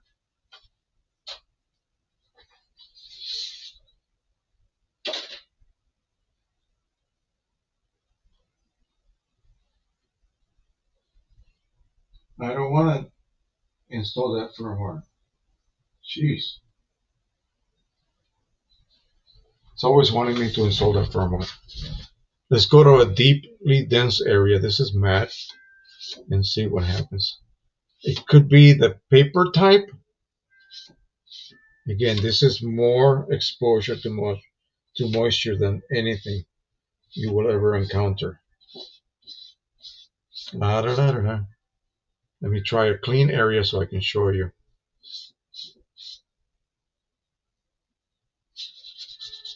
I'll rub it, rub it, rub it. And you can see a little bit, okay? And that's expected, of course. This is dye ink. Okay, so even with dye ink. But it's not like the print is ruined. Okay. You see what I'm saying? So obviously you do not want to do that too often. Okay? You don't want to do that too often. But today's inks literally can withstand that type of punishment. But again, like I said, this is you're not going to do that. It's an accident. Say you spill a little bit of water, blot it really carefully and allow it to dry. Don't let it sit there with the wet, you know, the surface completely soaking wet. You take this, this is has some water on it, and and dry it. Don't rub it like I just did. Dry it. This is RC paper. It's not, it's not going to internally become wet. The RC coating prevents that from happening. You watch, watch this. I let me see. Do I finish everything? Everything is dry. Look at that. No damage whatsoever. So again, it depends on the paper. An RC type paper, like a baryta paper, yeah, that would probably be affected because there's no coating preventing moisture from entering those types of papers. Yeah, the water will go right into the paper fibers and you could have some smearing of ink.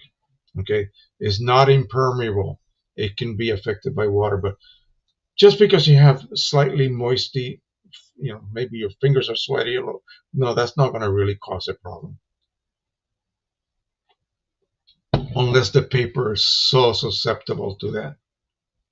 Most photographic paper, this type of paper, resin coated, you go ahead and print on it. You can handle it immediately without any issues as soon as it comes out of the printer. That's not going to get affected. Even the one I just printed, you have to really abuse it to be able to uh, cause any actual damage, which is the wet area right here. Remember, I smeared it in this direction, so if any of the ink wicked off, you would be able to see it on the white border, but you did not. So, and this is on, that's not considered a professional printer. So,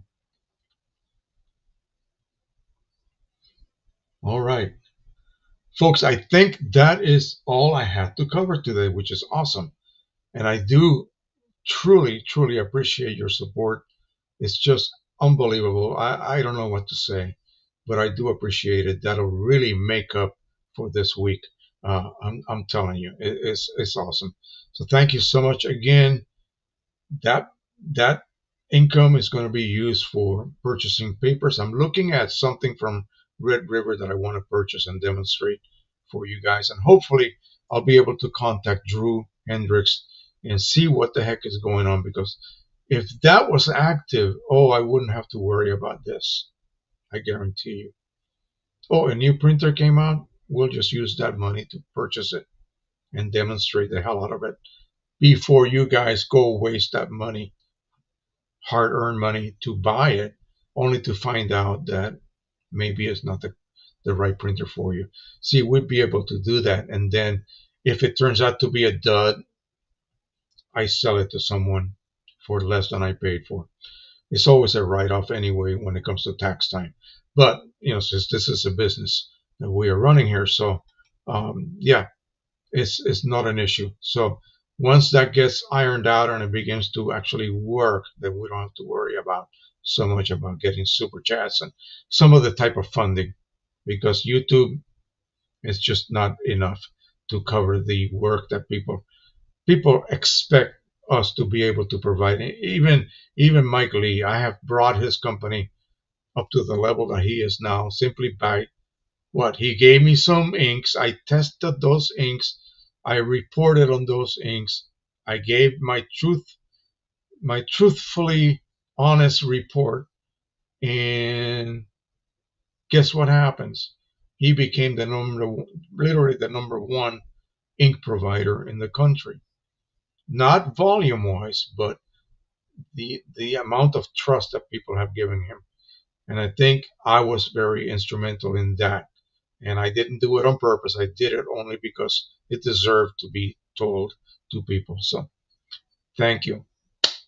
Thank you so much. So I guess it's time to say bye bye until next week. Let me go ahead and find us a different uh, slideshow let me show you. We're, we're going to be going to this place uh, the Thanksgiving weekend after Black Friday. Actually, on Black Friday, we're going to go with our son again. Uh, I let him do all the driving. I pay for the hotel, and he does the driving. We're going to go to uh, Harper's Ferry, West Virginia, and then we're going to go to Antietam Battlefield. So take, of course, who? Nathan with us, and he will have a blast. He enjoys the hotel room more than anything else. But in Harper's Ferry, we're going to walk across the railroad bridge, which walks you from West Virginia into Maryland. All you got to do is cross the Potomac River. So he's not going to believe that we can actually walk from one state to the other. That's going to be the trick to get him to do this. And he's a train lover anyway, as I am as well. And so we'll have a great time. And then we're going to go to Antietam Battlefield, where this next slideshow is from. All right. Thank you so much. We will see you again next week. Everybody have a wonderful week and a wonderful Thanksgiving. Bye bye, everyone. And take advantage of those Black Friday deals, okay? Especially since you really don't have to go to the stores anymore. You can do it online. Thank you. Bye bye, everyone.